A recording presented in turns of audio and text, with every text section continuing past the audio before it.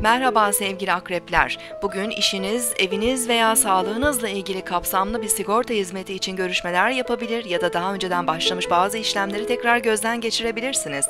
Gelecekle ilgili maddi güvence isteklerinizi çevrenizle de paylaşabilirsiniz. Bugün 25 Haziran 2014 Çarşamba, Merkür günündeyiz. İkizler Burcu'nda ilerleyen Ay, güneye değişken ve hareketli enerjiler veriyor. Ay öğleden sonra Terazi Burcu'ndaki Mars ve Koç Burcu'ndaki Uranüs'le olumlu açı yapacak. Enerji ve motivasyonumuz artarken bugün yazılı ve sözlü her türlü iletişimde çok etkin davranabiliriz. İş veya özel amaçlı kısa seyahatler, toplantılar, görüşmeler yapabiliriz. Telefon ve mail trafiği de gün boyu çok yoğun olabilir. Aynı anda birçok konuyla ilgilenmemiz de mümkün. Merkür retro olduğu için bazı karışıklıklar ve aksilikler de karşımıza çıkabilir, dikkat etmeliyiz.